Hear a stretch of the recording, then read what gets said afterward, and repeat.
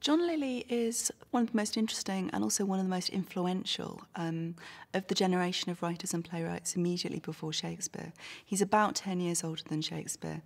Um, comes from, in some ways, a more socially elevated kind of background. His grandfather was the founder of the St Paul's Grammar School, um, very great kind of humanist scholar. Um, whose um, grammar instruction book carried on being used for centuries afterwards. Lilly's Grammar is this incredibly kind of famous, um, famous text in the period. And Lily's uncle and his father um, were also kind of minor sort of humanist figures and get progressively more involved with the administration of Canterbury Cathedral. So Lily is born in, um, in Canterbury. Um, almost certainly went to um, the King's Grammar School in Canterbury um, and then follows his grandfather and his uncle to um, Magdalen College, Oxford. Um, and as a young man, actually tries and kind of plays to have a fellowship granted to him at Magdalen, but this falls through. And so, like a lot of, of ambitious young men from the grammar schools, he heads to London and he ends up doing kind of literary activities. And so the first of his literary activities we know about is a prose text, um, kind of a, a predecessor of the novel um, in some ways, um, called Euphues, um, which is published um, in um, 1578 and is an absolute sensation. Um, it goes through multiple editions. It spawns a sequel, um, Euphues and His England. And it really becomes this absolute cliche that Lily is the person who teaches Englishmen a new way to write, um, and English men and women a kind of new way to think at this point. And then he goes into the theatre and ends up writing, um, in many ways, some of the most influential plays of their period, and certainly the most influential comedies of their period. Lyly's entry into the theatre really comes via um, his major patron, um, certainly in the first part of his career, um, who's the Earl of Oxford. And Lyly, I think, originally makes contact with the Earl of Oxford through Oxford's father-in-law, William Cecil, Lord Burleigh. Um, and Lyly has quite tenuous but quite useful family connections with Lord Burleigh. Um, and he seems to get this connection with Oxford through those kinds of connections. Now, Oxford um, is ambitious, but is also of um, uncertain temperament. And at the point when he and Lyly seem to come together, Oxford has been banished from Elizabeth's court. Um, he's banished in 1580, doesn't make a return until 1583. And when he does, his reappearance at court coincides with the performance of two plays by Lyly at court, um, Campaspe and Sappho and Phao, in 1583 and 1584. And this seems to be part of a concentrated campaign on Oxford's part to get back into Elizabeth's favour, not just through political or social means, but through artistic means as well.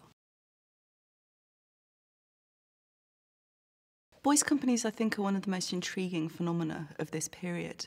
That we tend to think of them as a kind of strange oddity. We tend to link them in our minds with a certain kind of precociousness, a certain kind of either stage school or, or kind of school school play kinds of performances.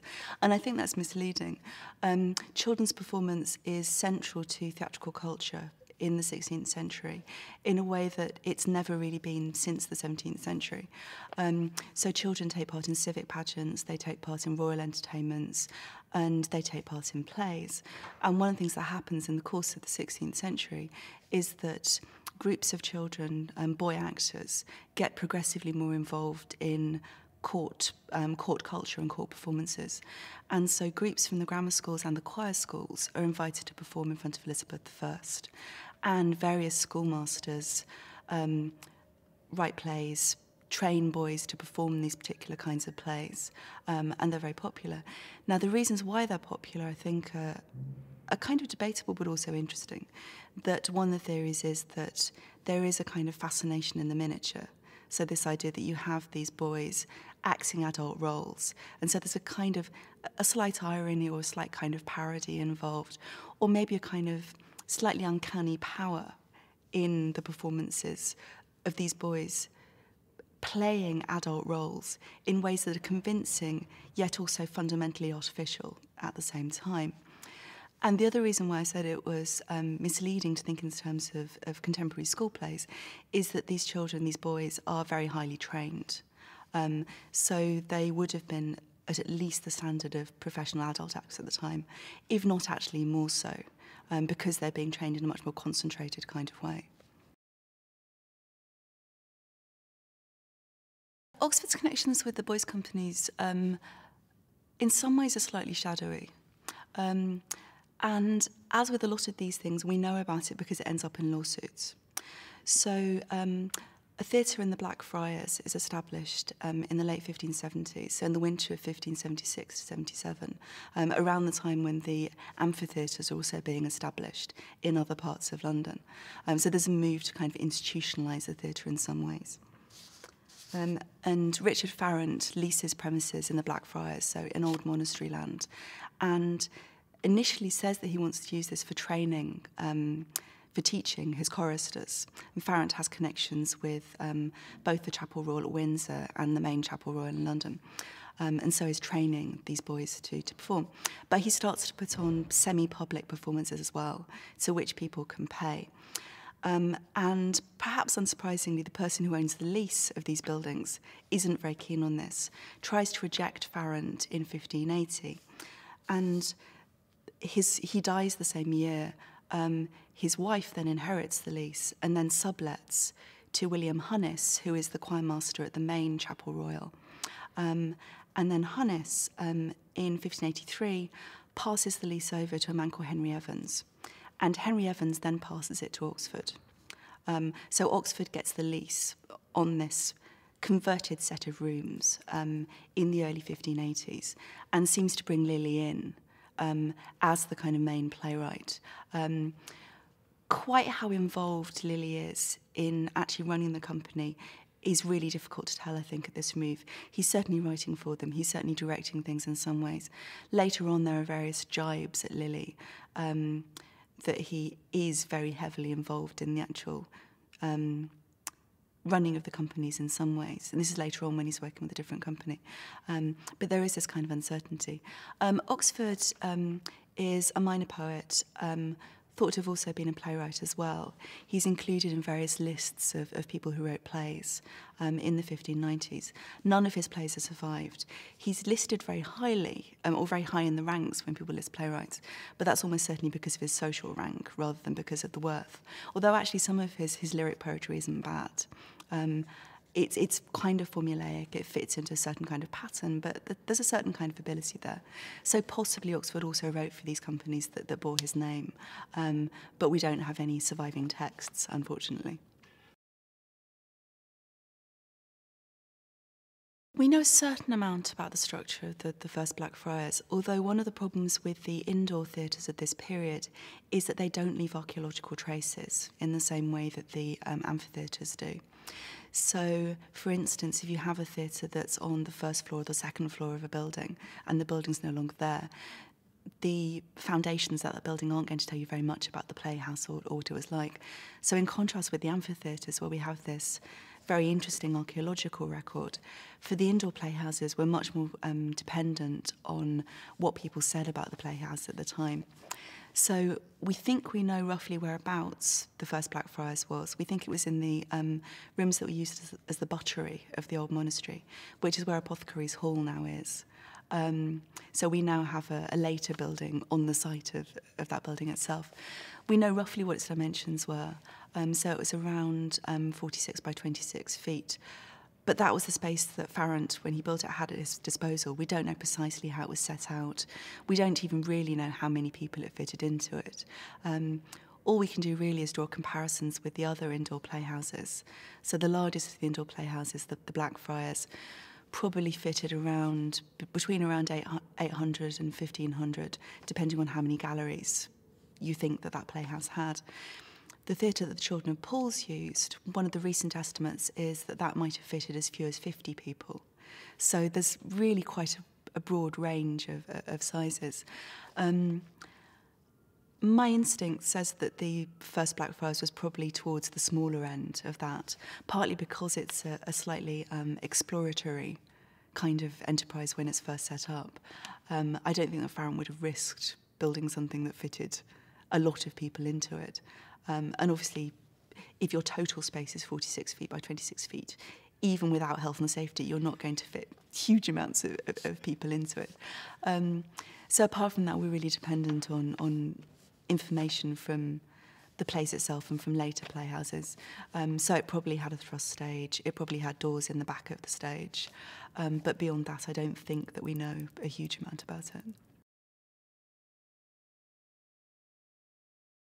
Yeah, the Paul's Playhouse um, is in operation for quite a lot longer than the first Blackfriars Playhouse. Um, it's constructed around the same time, so around 1575, um, by Sebastian Westcott, um, who's the master of the um, choristers um, at Paul's at the time. And Paul's is slightly confusing in that you have the the choir and you have the grammar school, and they're both heavily involved in theatrical production at various points.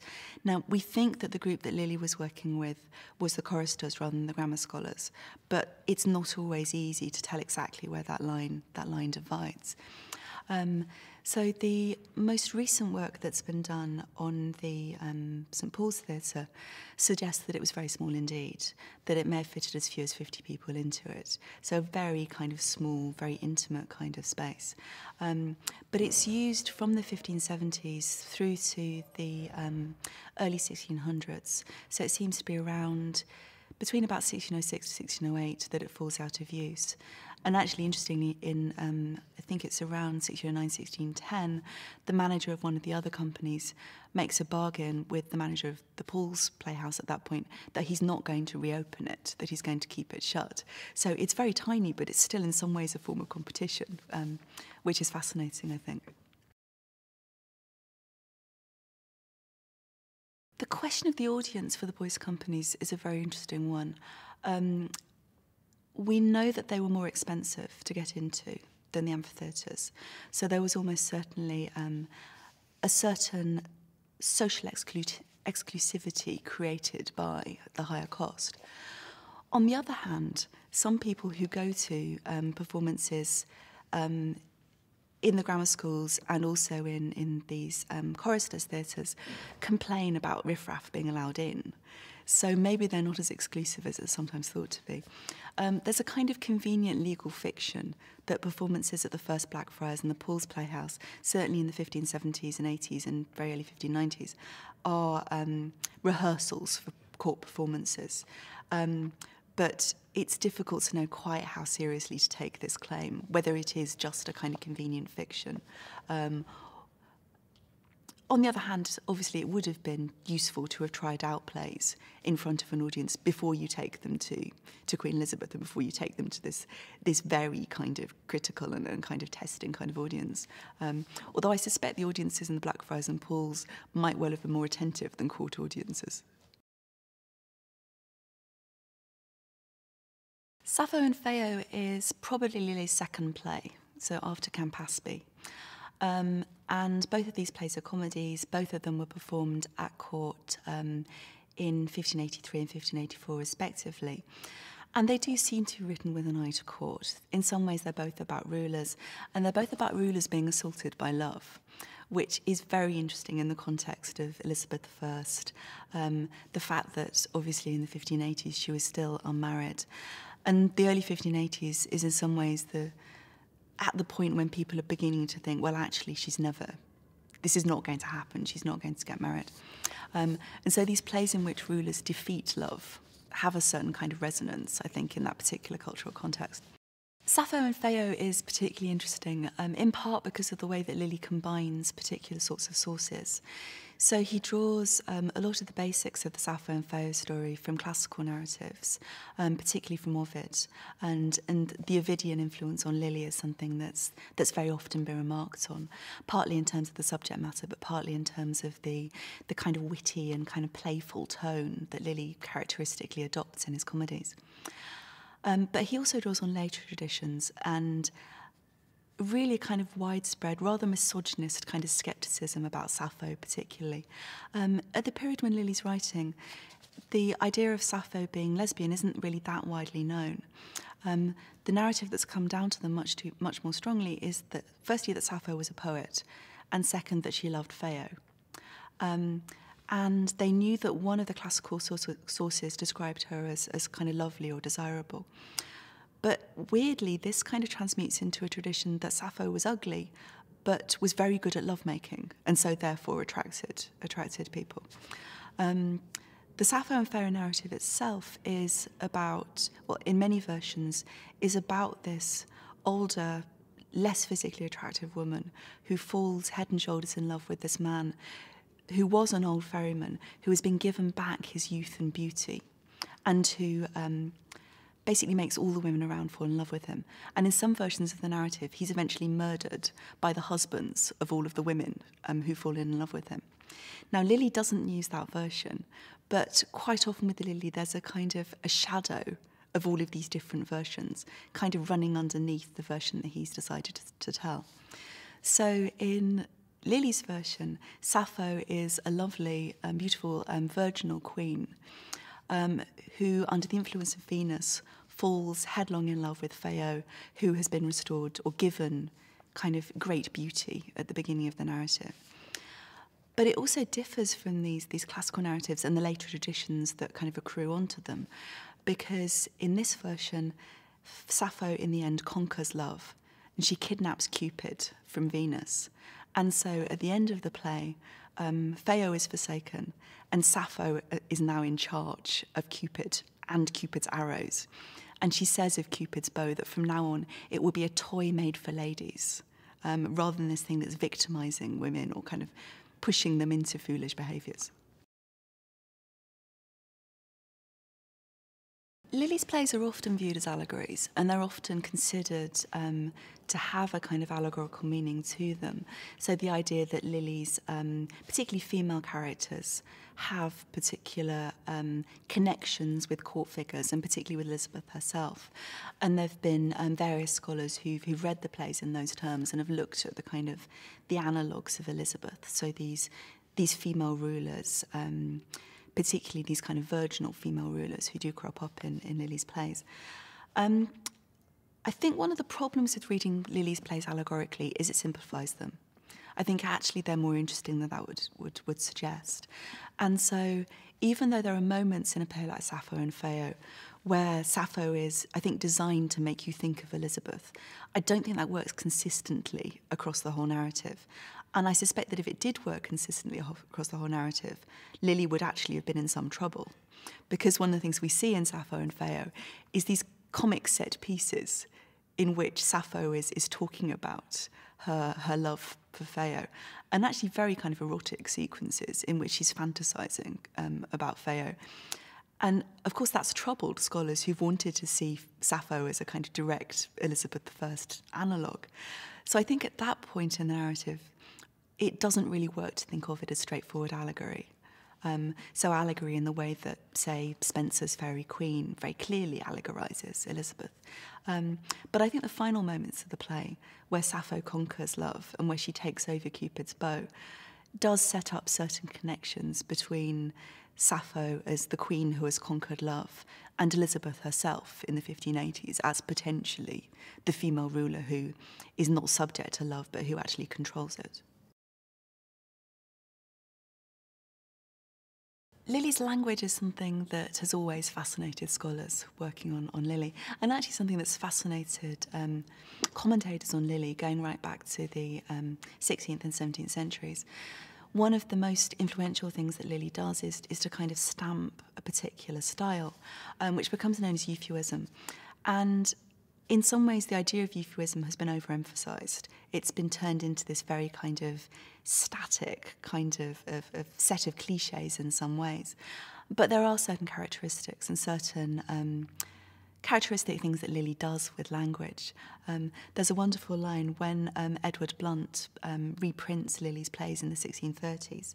Um, he comments that in the Elizabethan period, um, all our ladies were then his scholars, and that beauty at court that could not parley euphuism was as little regarded as she now there that speaks no French. And Blount's talking about the Caroline court in the 1630s, where, under the influence of Henrietta Maria, everybody wants to learn French and everybody wants to read French literature. And he's suggesting there's such a cult, um, you know, amongst particularly women um, for Lyly's way of writing. Now, euphuism very, very broadly is a way of writing that's structured around antithesis. So a kind of, on the one hand, this, on the one hand, that um, way of constructing um, sentences, but also kind of broader structures as well. Um, so it uses that. It tends to use a lot of um, play on the way that particular words sound. So we get lots of alliteration in Lily, lots of assonance in Lily, lots of kind of playing around with words that sound similar. And that idea of play is absolutely crucial. So Lyly's dialogue, his language, is absolutely characterised by wit and by kind of playfulness. Um, and this, I think, really works with a group of boy actors. That the the language itself actually isn't as complicated as it looks. The vast majority of Lyly's plays are in prose. Only one of his plays, The Woman in the Moon, is written in blank verse. Um, and I think the patterning actually helps in terms of the boy actors being able to learn the lines, but also to deliver them convincingly. And schooling in the period that we're talking about was very based on rhetoric and was very based on being able to speak and being able to speak well. So, because Lyly's plays delight so much in language, they really, I think, play to the strengths of, of the actors who are performing them. There is a tendency for people to say poor old John Lyly and to view his career as a kind of very rapid rise and then a kind of swift decline. Um, and I think, like a lot of narratives, it's it's kind of attractive in terms of being a narrative, but it doesn't quite work. I think if, if you look a bit more at the at the specifics of, of what he wrote and when he wrote it. Um, so Lyly does have these these kind of spikes in his career, these moments when everything seems to work for him. So in the very late late 1570s, when Euphues and its sequel. Uh, um, are published um, in the mid 1580s when he's doing these plays at court with, with, with Oxford. Um, and then in the later 1580s, when he's working with the children of Paul's and doing um, plays like Endymion um, Mother Bombie. Um, and then there's, there's been a tendency to talk about a, a, decline after that. The Woman in the Moon, which seems to be his last play, has sometimes been thought to be an attempt at writing for the adult companies that doesn't work. And this, I think, is largely because it's written in, in blank verse rather than in, in, um, in prose. Um, but its most recent editor, Leah Scragg, has argued very strongly that actually we should think of it as a children's company play, and it's more likely to be a play written for the children of Paul's um, in the very late 1580s or, or circa 1590. One of the misfortunes that Lyly does um, fall into at that point in the late 1580s is that he gets um, drawn into what's often known as the Marprelate scandal. And this is really a dispute between different factions within English Protestantism. So people who feel that the structures within the Church of England don't work properly, and so write tracts against um, the bishops and against the kind of the structures within the church that depend on having authority figures like the bishops. Um, and these are printed on secret presses and kind of circulated in a very clandestine way. And one of the things the authorities do to work against this is they actually get imaginative writers involved to write counter pamphlets. Um, and Lily and Thomas Nash are some of the people who are involved here. And Lily um, so writes some non-dramatic pamphlets, um, notably one called Pamp with an Hatchet, um, but also seems to have been involved in getting plays put on by the Children of Paul's that satirise the Marprelate um, tracts.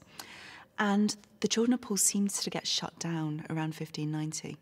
Um, they disappear for a while. When some of Lyly's plays are published around this time, the printers talk about the fact that since the plays in Paul's have been stopped, we're now bringing them out in print for you. So Lyly's career really kind of takes a knock at that point. Um, he also seems to have made, been made promises that weren't kept. So in a letter um, to written to Queen Elizabeth, probably in 1598, he um, asks about her promise that he say he admits was made verbally rather than actually being put in writing, um, but her promise to give him um, the reversion of the office of the Master of the Revels. And this means that he was going to be next in line, or next in line but one, to become Master of the Revels when the then current Master of the Revels retired. Now, unfortunately for Lyly, the Mastership of the Revels goes into the hands of a powerful faction at court, which is opposed to the faction that he's more connected with. And so this never happens. But it's very interesting. The Master of the Revels was the, um, the dramatic censor and also planned court performances. So Lyly was really aiming at a very powerful kind of position here and thought that he had a very good claim on it, but this doesn't work out for him. So in the 1590s, he's exploring other kind of avenues. Um, he first becomes an MP in 1589, and then again, um, actually, I think in different. Um, I was going to say constituencies, that's not quite the right word, but in different places um, in the 1590s. Um, and he's involved in um, Inns of Court revels in the 1590s as well. Um, but he does he does drop out of sight slightly. But his plays don't. His plays, um, when the children's companies come back in 1599 and 1600, they revive some of his plays. So Love's Metamorphosis is revived, probably 10 or so years after its first performance. And people, even at this point, are talking about um, Lyly is this kind of exemplar. There's a wonderful line from Barnaby Rich who says that Lyly could um, court it with the best and scholar it with the most. And the children's companies, when they're revived, pick up on Lylian techniques and Lylian dramaturgy. Um, so I think it's it's a mistake really to see it as as necessarily a simple decline narrative. There's lots of things going on there. I don't think it's going too far to say that Lyly's comedies are the most influential um, of the um, 16th century partly because of the influence they have on figures such as Shakespeare, but also Ben Jonson, also John Marston, um, also in some ways I think Thomas Middleton, so figures who go on to have an influence of their own. So Lyly in some ways has a kind of primary influence and then a kind of knock-on, a kind of secondary influence that kind of runs through. Um, so in terms of Shakespeare, there are some very direct connections between Lyly's works and Shakespeare's works. And one of the really interesting things is that the point at which Shakespeare's company, the Chamberlain's Men, really start investing in romantic comedy seems to be the point at which the children's companies are shut down. Um, and it's been argued, I think, really quite convincingly, that one of the things the Chamberlain's Men do is they make a play for that audience that no longer has Lyly's plays to satisfy them. And so people see, um, or I think it's very. Um, very valid to see Shakespeare's romantic comedies of the 1590s, and particularly things like Midsummer Night's Dream, As You Like It, coming out of this very strong Lylian influence and using it very self consciously. And plays such as Midsummer Night's Dream and As You Like It have very strong narrative and dramaturgical connections with the kinds of things that Lyly pioneered. So, as you like it in particular, with its play on the boy who is the girl who is disguised as a boy, which obviously is actually a boy actor playing a girl who is then playing a boy, has its roots in in Galatea, um, in which Lyly has two um, choir boy actors playing two girls um, who are disguised as two boys. And a play like Twelfth Night kind of draws us draws on this even more. So one of the things that happens in Galatea is the two girls who are disguised as two boys fall in love with each other.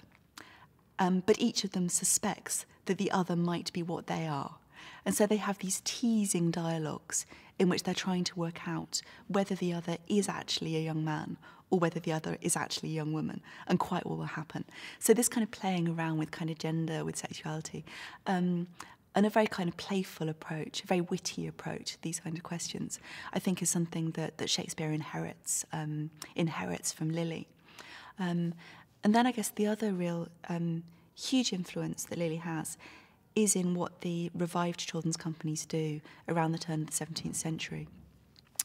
And so when the children of Paul's are reactivated and then the children of the, the children of the chapel are reactivated, they put on plays by Marston and Jonson which play around with the whole idea of, of, of boy actors performing plays and have these wonderfully kind of teasing induction sequences where you have boy actors playing boy actors talking about the difficulty of learning their lines and, and, and, and actually performing their roles. Um, and one of the things that, that Marston and Jonson are doing is suggesting that actually they need to kind of re-establish the, the tradition again. And one of the ways they do this is, is by looking back to Lyly. So Marston's Antonio Mellida, Jonson's Cynthia's Revels, plays which almost certainly kind of kicked off those revived children's companies, are directly playing with Lylian kind of patterns and, and, and kind of playful yet interrogative kind of ways of writing comedy. And this, I think, then rolls into the next generation of, of children's company dramatists. So people like Thomas Middleton, for example, who then go on to have their own their own kind of influence running on in, into the 1630s and 40s. Lyly is very unfairly neglected. Um, one of the things that I've found over the last few years in going to stage readings of Lyly's plays is that they lift off the page. Um, there may be things that look complex when we read them, and actually look complex because I think we're unused to reading dramatic prose from that period in quite the same way that we read blank verse. I think we're put off by the fact that they don't quite sound like Shakespeare, they don't look like Shakespeare when we read them. Um, but as I say, they really do lift off the page. And what looks like well, the aspects that make them look difficult, so the patterning in particular, actually becomes something which has a kind of dramatic potential in itself and has this kind of playful quality in performances in performance. And one of the things that surprised me is that I've seen um, either stage readings or bits of Lyly's plays done by adult performers and done by boy actors. And they work beautifully in both formats. So, one of the things about Lyly's plays is that they're often caricatured as plays that are utterly dependent on boys' company performance and utterly dependent on that kind of artificiality or ironic distance between actor and role. And actually, they don't really depend on those. Um, they are actually very, very funny. And some of them, um, Woman in the Moon, Lyly's kind of probably his last play, is almost like bedroom farce in places. Um, very witty, very skillful kind of bedroom farce, but bedroom farce nonetheless.